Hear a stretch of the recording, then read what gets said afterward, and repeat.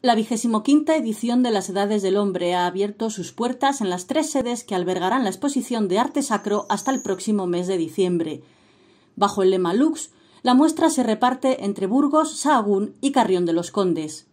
Esta obra expresa lo que la Iglesia, lo que la Iglesia es y para lo que la Iglesia vive, para evangelizar, es decir, para anunciar a Cristo que es el Hijo del Dios vivo, el Mesías. Hoy se nos recuerda en la liturgia que es el día de San Pedro, el que es la luz del mundo, la vida, la esperanza de la humanidad. La presente edición de las Edades del Hombre, marcada por las restricciones de la pandemia, servirá para celebrar el octavo centenario de la Catedral de Burgos y el Año Santo Jacobeo.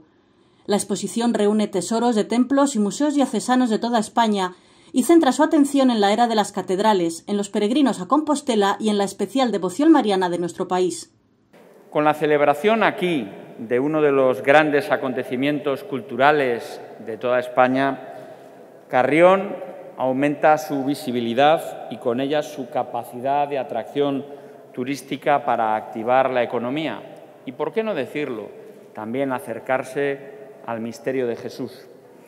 Aprovechando nuestros recursos como el magnífico patrimonio que atesoramos, contribuimos a generar oportunidades, riqueza, empleo, fijar población y acercar, llenar a las personas de sentido espiritual. La muestra dará una visión de todo lo relacionado con las EOS españolas entre los años 1050 y 1550, a través de 120 obras de 26 templos.